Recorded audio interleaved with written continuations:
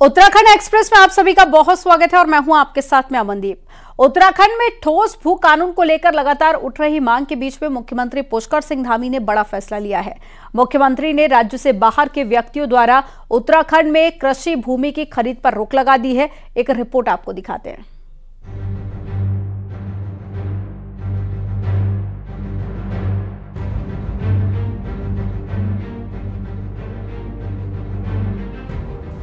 उत्तराखंड में मूल निवास हो या भू कानून, इन दोनों मुद्दों पर सियासत गर्म है। इस सब के बीच बड़ा सियासी कदम उठाते हुए मुख्यमंत्री पुष्कर सिंह धामी ने बाहरी व्यक्तियों द्वारा राज्य में कृषि भूमि की खरीद फरोख्त पर तत्काल प्रभाव से रोक लगा दी है। भूमि खरीद की अनुमति देने का डीएम का अधिकार भी फ्रीज कर दिया गया है। अब 12 सितंबर 2003 के बाद उत्तराखंड में रह रहा कोई भी व्यक्ति यहाँ पर कृषि भूमि नहीं खरीद सकेगा। सीएम धामी का कहना है कि भू कानून बनाने के लिए राज्य सरकार द्वारा हाई पावर कमेटी गठित की गई है। जब तक ये कमेटी अपनी रिपोर्ट नहीं दे देती, तब तक रोक बरकरार रहेगी। देखिए, मैंने मई 2023 में कैबिनेट में इस बात की तब भी हमने पहल की थी और एक निर्णय तभी लिया था कि प्रदेश के अंदर जितने प्रकार की भी ज़मीनें अन्य जगह से लोग आकर खरीदते हैं, उन सभी का हम वेरिफिकेशन करेंगे। लेकिन अभी कृषि योग्य जो भूमि है, उसकी हमने अभी फ़िलहाल रोक लगाई है, उस पर वेरिफिकेशन के लिए कहा है। और लेकिन अन्य प्रकार की, जितने प्रकार की भी भूमियाँ होंगी, उन सबका भी वेरिफिकेशन दरअसल उत्तराखंड में अभी तक कृषि भूमि डीएम की अनुमति के बाद खरीदी जा सकती थी। इसकी आड़ में सैकड़ों की तादाद में बाहरी प्रदेशों के लोगों ने कुमाऊं के मुक्तेश्वर, भीमताल, रामगढ़, पंगूट, खुरपाताल, नोकुचियाताल, रामनगर, हल्द्वानी, काशीपुर, टनकपुर, पनबसा, रानीखेत, कौसानी के साथ गढ़वाल में उत्तरकाशी, रुद्रप्रयाग, पौड़ी, टिहरी, चमोली, हर जगह जमकर जमीनें खरीदी। और फिर जिला स्तर पर ही इनका लैंड यूज़ बदलवाकर इन पर होटल रिजोर्ट खड़े कर दिए। लेकिन मुख्यमंत्री के इस आदेश के बाद अब जमीनों की बेतहाशा खरीद फरोख्त पर रोक लग गई है। थोड़ा धैर्य चाहिए। धीरे धीरे चीज़ें ठीक हो रही हैं और हम उस ओर आगे बढ़ रहे हैं। हम ऐसा भी नहीं चाहते कि जल्दी में कोई ऐसा निर्णय हो जाए जो आगे भविष्य पर इसका दुष्प्रभाव पड़े, वहाँ के लोगों को नुकसान हो। तो बहुत सारी चीज़ें हमको सोच समझ कर आगे बढ़ानी होंगी। अब मांग करने एक अलग विषय है, लेकिन जब सरकार काम करती है तो सरकार सभी पहलुओं पर नज़र रखते और फिर आगे चल के व्यवस्थाएँ बनाती ताकि भविष्य में कोई दिक्कतें ना आए। बहरहाल साफ़ है उत्तराखंड में अगले आदेश तक अब कोई भी बिहारी व्यक्ति कृषि भूमि नहीं खरीद सकेगा। हालाँकि इस आदेश में अभी कई चीज़ें स्पष्ट होना बाकी हैं, लेकिन इतना तय है कि मुख्यमंत्री के इस मास्टर स्ट्रोक से भू माफियाओं में हड़कंप मचा हुआ है। वहीं औने पौने दामों में खरीदी जा रही पहाड़ की बेशकीमती जमीनें भी संरक्षित हो सकेंगी। न्यूज़ 18 के लिए देहरादून से सुनील नवप्रभात की रिपोर्ट।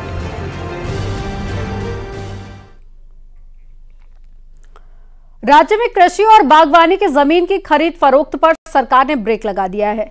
अब कृषि बागवानी की जमीनों की भू माफियाओं के कब्जे में नहीं हो सकेंगे और नैनीताल के पंगूट खोपराताल और मुक्तेश्वर, भीमताल, रामगढ़ में पिछले कई सालों से लगातार कृषि और बागवानी की जमीनें बिक रही हैं, जिस पर रिजॉर्ट और साथ ही होटल भी बनाए जा रहे हैं। हालात यहाँ तक है कि पहाड़ों में सरकारी जमीनों को भी इनकी आड़ में लेकर बेचा जा रहा है, और उन पर बाहरी लोग कब्जा कर रहे हैं। कई स्थानों पर विशेष धर्म के लोगों ने कृषि भूमि की आकृति भूमि दिखाकर उस पर कारोबार खड़ा कर दिया है और ज़िले के तराई वाले इलाकों में तो बड़े पैमाने पर कॉलोनियाँ भी काटी जा रही हैं।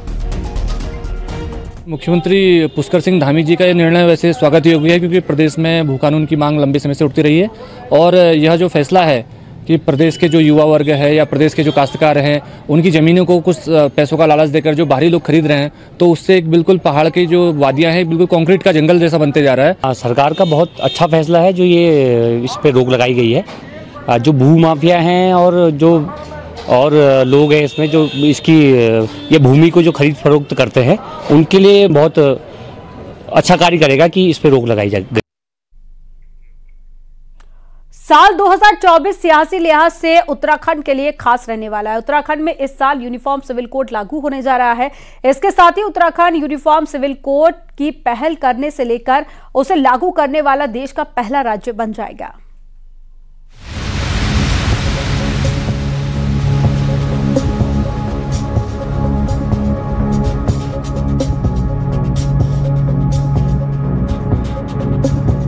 साल 2024 सियासी लिहाज से काफ़ी महत्वपूर्ण रहने वाला है। या यूँ कहें कि ये साल धामी सरकार के लिए चुनौतीपूर्ण रहने वाला है। इस साल लोकसभा चुनाव होने हैं तो उसके तत्काल बाद निकाय चुनाव की चुनौती भी सामने होगी। कैबिनेट विस्तार का मुद्दा भी बना रहेगा। भू कानून और मूल निवास दो बड़े मुद्दों का सरकार को हल खोजना होगा। राज्य आंदोलनकारियों को सरकारी नौकरी में 10 फ़ीसदी क्षैतिज आरक्षण विधेयक भी लंबित पड़ा हुआ है। उत्तराखंड के यूनिफॉर्म सिविल कोड पर देश भर की नज़रें टिकी हुई हैं। मुख्यमंत्री का कहना है कि चुनौती बहुत है, लेकिन जनता के हित में जो भी फैसला लेना होगा, सरकार पीछे नहीं हटेगी चुनौतियाँ हैं और प्रदेश की जनता के आशीर्वाद से हमारे आदरणीय प्रधानमंत्री मोदी जी के मार्गदर्शन में ईश्वर की कृपा से सभी चुनौतीपूर्ण जो हमारे मुद्दे रहे हैं, चुनौतीपूर्ण विषय रहे हैं, उन सभी पर हमने निर्णय लिए हैं और आगे भविष्य में भी उन सब पर निर्णय लेंगे। प्रदेश के हित में जो भी ज़रूरी निर्णय होगा, वो हम लेने में कतई भी पीछे नहीं हटेंगे। हालाँकि इन सब मसलों पर फैसले लेना इतना भी आसान नहीं होगा। सियासी नफा नुकसान भी देखा और तोला जाएगा। बीजेपी भी मानती है कि उसे 2024 से बहुत उम्मीदें हैं, चाहे यूसीसी हो या भू कानून। सरकार ने जनता से जो भी वायदे किए हैं, उनको ज़रूर पूरा किया जाएगा। उत्तराखंड राज्य की जनता को अपने राज्य के यशस्वी मुख्यमंत्री पुष्कर सिंह धामी पर भरोसा है।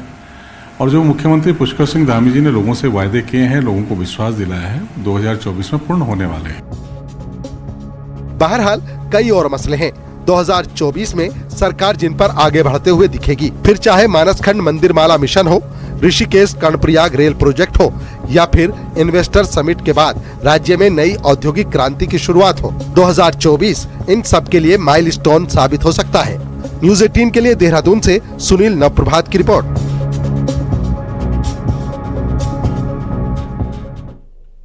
उत्तराखंड में एक बार फिर से कोविड संक्रमण का खतरा मंडरा रहा है। शनिवार को 77 साल के बुज़ुर्ग के कोविड पॉजिटिव आने के बाद में अदून अस्पताल में एडमिट बहत्तर साल की महिला की रिपोर्ट कोविड पॉजिटिव आई है। दोनों मरीजों की कोई ट्रैवल हिस्ट्री नहीं है। ऐसे में कोविड के नए वेरिएंट जे की पहचान के लिए दोनों संक्रमित मरीजों के सैंपल को जिनो सिक्वेंसिंग के लिए भेज दिया गया है। स्वास्थ्य सचिव का कहना है कि सीएम धामी लगातार कोविड पर लगातार फीडबैक ले रहे हैं।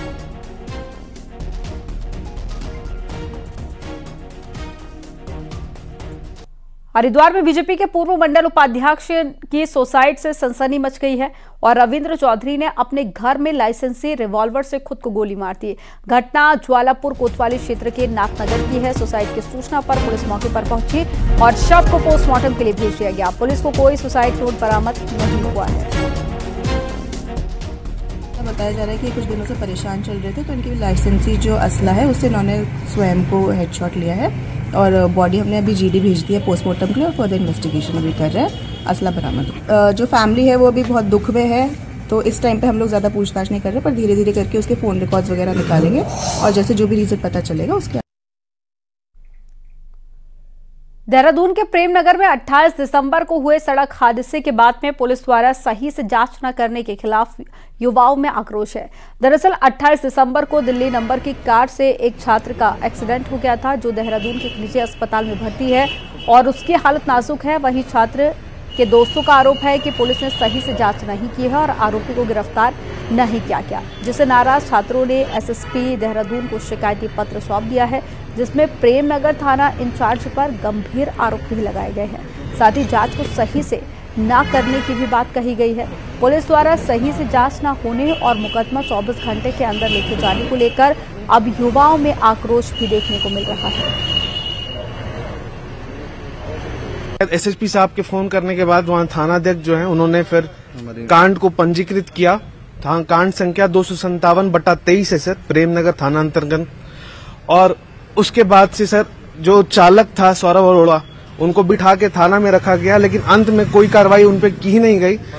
धारा जो है 308 दो सौ टू सेवेंटी नाइन और 338 के अंतर्गत धारा लिखवाई धारा हुई थी दो सौ संतावन में पर अंत में उनको छोड़ दिया गया। कोई कार दिल्ली नंबर की गाड़ी थी जिससे इनका एक्सीडेंट हुआ था और इनका कहना था कि हमारी तहरीर पे मुकदमा उस समय नहीं किया गया था। बहरहाल मुकदमा पंजीकृत कर लिया गया और इसमें मेरे द्वारा विवेचक से बात की गई है और इसमें प्रायोरिटी के आधार पर विवेचना की जाएगी। और रही बात तो जो इन्होंने शिकायत की है, इस शिकायत को एसएसपी सर के समक्ष रखा जाएगा और सर ने जो भी इसमें जिसको भी जाँच देंगे, जाँच कराने के बाद इसमें क्लियर हो पाएगा कि गलती किसकी है। श्रीनगर में गुलदार का आतंक लगातार बढ़ता जा रहा है। शाम ढलते ही गुलदार सड़क पर दिखाई देने लगता है। बीच सड़क पर गुलदार घूम रहा है और कार सवार ने गुलदार का वीडियो बनाया है। वहीं गुलदार के आतंक से दहशत का माहौल है। लोगों ने वन विभाग से गुलदार को पकड़ने की मांग की है।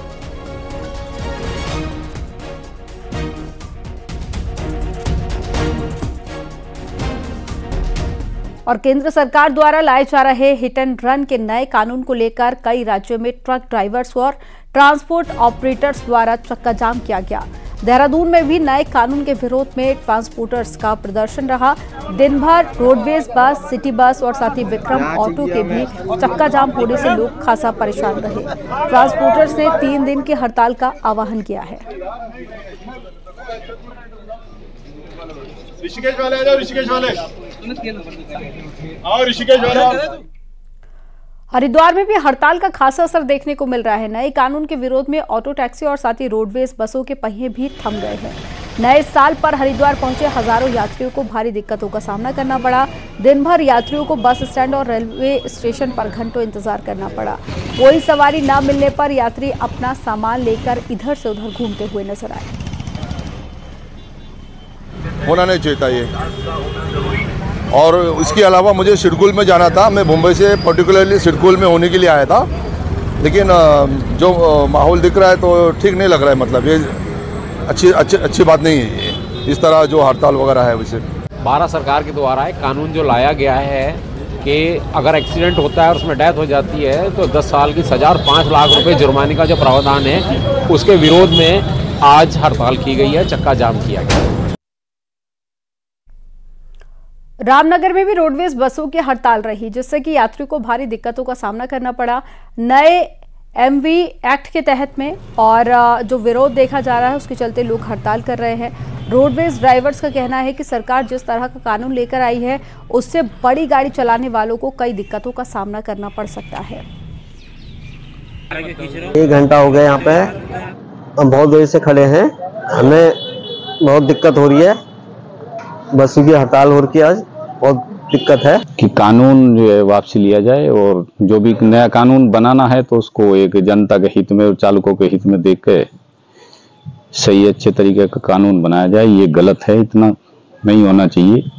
इसको जायज़, नाजायज देखा जाए। नए साल के पहले दिन नैनीताल में पर्यटकों को दिक्कतों का सामना करना पड़ा। बसों की हड़ताल की वजह से सरोवर नगरी आए सैलानियों को वापस जाने में काफ़ी दिक्कतों का सामना करना पड़ा। वहीं पर्यटकों ने टैक्सी वालों पर मनमाने किराया वसूलने का भी आरोप लगाया।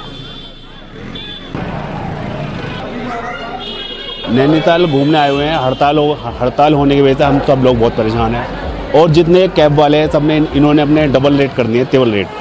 अब एक एक कैब वाला एक एक तीन तीन हज़ार रुपये चार चार हज़ार रुपये मांग रहा है। अब जो टूरिस्ट आए हुए हैं वो क्या करेंगे इस वो कैसे जाएँगे अपने घर तक? जो इधर आप नए रोडवेज़ में देख रहे हैं ये हमारी यूनियन से कोई भी रिलेटेड नहीं है।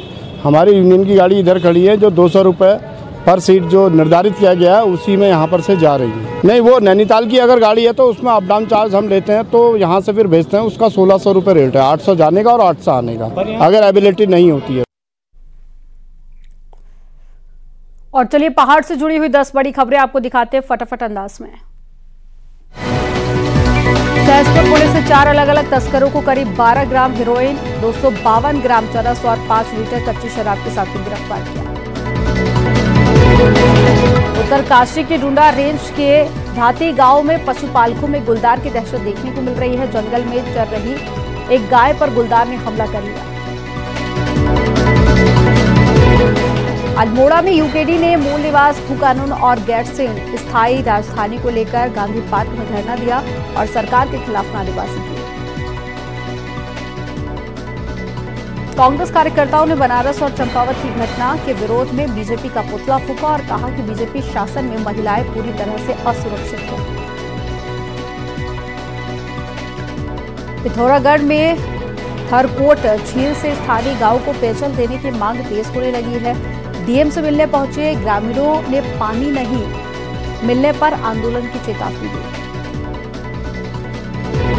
टिहरी में नए साल के पहले दिन लोग नवदुर्गा मंदिर के साथ में ही सुरकुंडा सिद्धपीठ मंदिर दर्शन के लिए पहुँचे और माँ से खुशहाली और समृद्धि की कामना नए साल के मौके पर पिथौरागढ़ उद्योग विभाग ने एक कैलेंडर जारी किया है। इस मौके पर डीएम रीना जोशी ने कहा कि लोगों को उद्योग लगाने में हर संभव मदद दी जा रही है।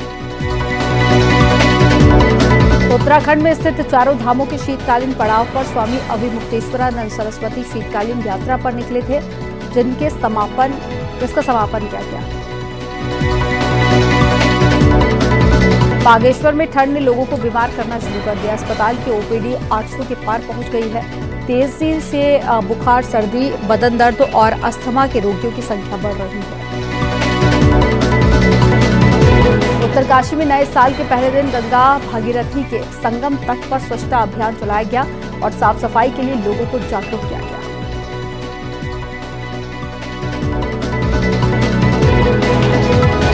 और हरिद्वार में निरंजनी अखाड़े के आचार्य महामंडलेश्वर स्वामी कैलाशानंद गिरी का सैतालीसवां जन्मदिन धूमधाम से मनाया गया। दक्षिण कली पीठ मंदिर में आयोजित कार्यक्रम में बड़ी संख्या में साधु संत और नेताओं ने हिस्सा लिया और स्वामी कैलाशानंद गिरी को शुभकामनाएँ देने उत्तराखंड के पूर्व राज्यपाल और यूपी सरकार में कैबिनेट मंत्री बेबी रानी मौर्य, उत्तराखंड के विधानसभा अध्यक्ष ऋतु खंडूरी, पूर्व मुख्यमंत्री तीरथ सिंह रावत और साथ ही हरिद्वार के सांसद रमेश पोखरियाल निशंक समेत कई बीजेपी और दूसरी पार्टियों के नेता पहुँचे।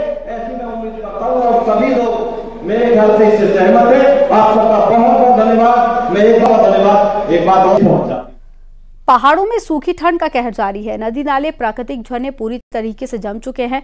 तस्वीर नीति घाटी की आपको दिखाते हैं, जहाँ पर पहाड़ों पर बहने वाले झरने का पानी जम चुका है। धौली नदी की सहायक नदियाँ भी जम चुकी हैं और इतना ही नहीं, पाली की परत पूरी तरह से पहाड़ की चोटियों पर जम चुकी है। और घाटी में सुबह शाम का तापमान माइनस दस से पंद्रह डिग्री तक पहुँच गया है।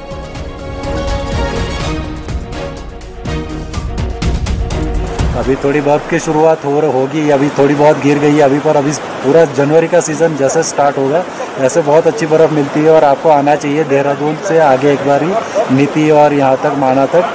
बहुत ही अच्छा व्यू है, आपको पूरे प्रकृति के नज़ारे मिलेंगे। हाँ थोड़ी सी आपको समस्या होगी आने में, पर आना ज़रूर चाहिए आपको एक बार थोड़ी समस्याओं का सामना करते हुए।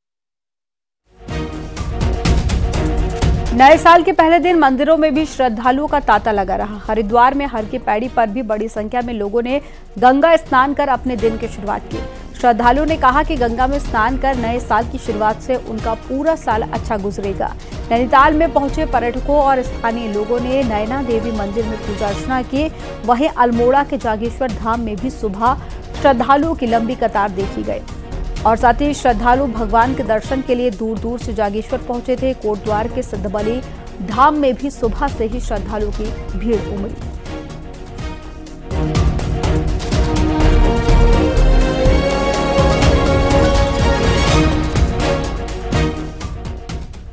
देहरादून वन प्रभाग की झाझरा रेंज के जंगल में वन विभाग की ओर से तैयार आनंद वन पर्यटकों को खूब लुभा रहा है। एक रिपोर्ट आपको दिखाते हैं।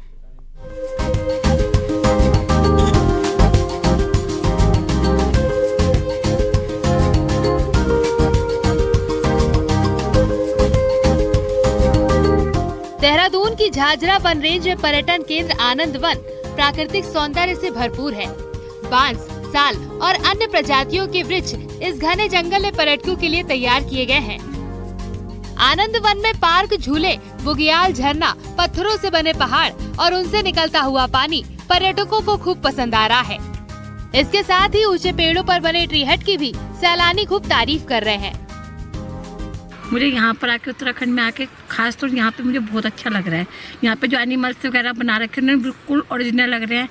तो लग ही नहीं रहा है कि हम डुप्लीकेट ऐसा लग रहा है हम असली जंगल में ही घूम रहे हैं बिल्कुल। आज हम अपने बच्चों को घुमाने के लिए आनंद वन में लाए हैं और यहाँ का माहौल बड़ा खुशनुमा है। सभी लोग यहाँ पे इंजॉय कर रहे हैं और हम भी अपने बच्चों के साथ एंजॉय कर रहे हैं।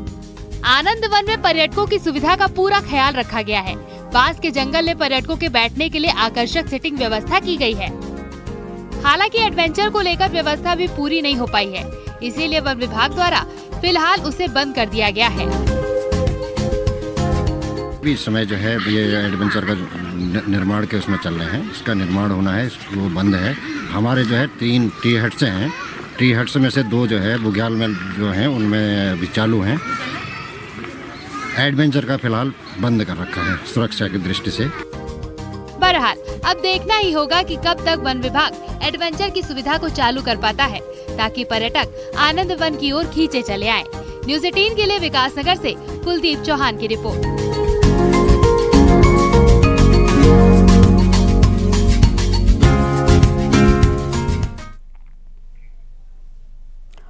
ऋषिकेश के त्रिवेणी संगम पर नए साल की शुरुआत पर फ़ोटो प्रदर्शनी का आयोजन किया गया। इस दौरान पर्यटकों ने उत्तराखंड के लैंडस्केप प्राकृतिक स्रोत के सौंदर्य के नज़ारों का लुत्फ भी उठाया और उत्तराखंड के पर्यटन स्थलों और साथ ही संस्कृति को फ़ोटो के माध्यम से दिखाने की कोशिश की गई थी। वहीं इस प्रदर्शनी को लोगों ने बेहद पसंद किया। एग्जीबिशन लगी है। ये बहुत ही सुंदर उत्तराखंड की ओर से लगी है, लेकिन मैं देख रही हूँ इसमें पूरी दुनिया के फोटोग्राफ्स इसमें शामिल है और बहुत ही अच्छे तरह से ये फोटोग्राफ्स बनाए। मैं बहुत बहुत शुभकामनाएँ देती हूँ। युद्ध के समय अपनी वीरता के लिए देश का पहला परमवीर चक्र और शांति काल में एक साथ दो अशोक चक्र जीतने वाली कुमाऊं रेजिमेंट के लिए आज का दिन बेहद खास है। आज कुमाऊं रेजिमेंट का स्थापना दिवस है और इस अवसर पर बागेश्वर में कुमाऊं रेजिमेंट के 20वीं बटालियन के सैनिकों और पूर्व सैनिकों ने धूमधाम से अपना स्थापना दिवस मनाया।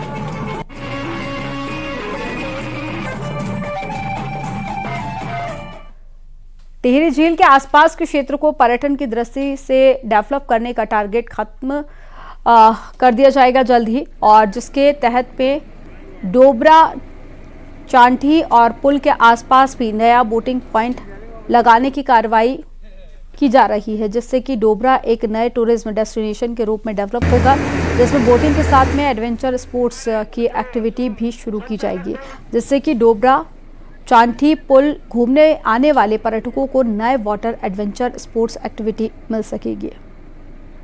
जो एडवेंचरिस्ट हैं या फिर जो लोग अपना ये कार्य करते हैं साहसी खेलों का उन्हें उनके द्वारा भी प्रस्ताव दिए गए जो वहाँ पर जिप लाइन या बंजी जंपिंग या फिर हट्स बनाने का या अन्य बोटिंग एक्टिविटीज़ प्रारंभ करने की कार्रवाई वर्तमान 2024 में करने जा रहे हैं। अयोध्या में श्री राम मंदिर की प्राण प्रतिष्ठा के कार्यक्रम की तारीख नज़दीक आ गई है तो वहीं देहरादून के कुम्हारों के कारोबार में तेज़ी आ गई है। क्या है वजह? एक रिपोर्ट में दिखाते हैं।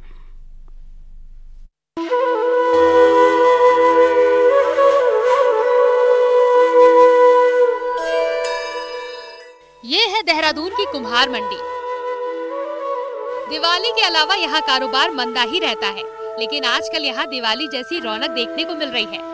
वजह है अयोध्या में श्री राम मंदिर के प्राण प्रतिष्ठा का कार्यक्रम। 22 जनवरी को अयोध्या में भगवान रामलला की प्राण प्रतिष्ठा का कार्यक्रम होगा और इसी के साथ हर घर में दीपक भी जलेंगे। इसके लिए कुम्हार बड़े पैमाने पर तैयारी कर रहे हैं।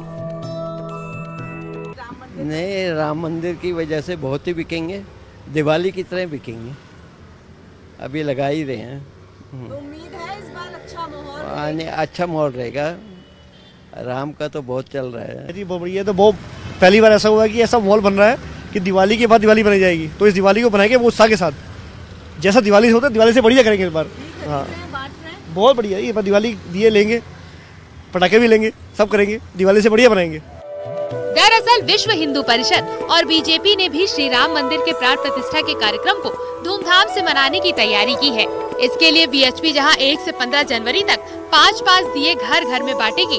वहीं बीजेपी ने अपने सभी सांसदों को अपनी अपनी लोकसभा में दिए जलाने के लिए कहा है। दिवाली के बाद ऐसी रौनक कुम्हार मंडी में भी पहली बार देखने को मिल रही है। जब दिए बनाए जा रहे हैं, हर घर में दीप जलाने की तैयारी है। दीपोत्सव एक बार फिर मनाया जा रहा है, क्योंकि राम मंदिर अयोध्या में एक बार फिर से दीपावली का माहौल है। कैमरा पर्सन संदीप नेगी के साथ न्यूज़ 18 के लिए देहरादून से भारती सकलानी उनियाल यहाँ पर वक्त हो गया एक छोटे से ब्रेक का। आप देखते रहिए न्यूज़ 18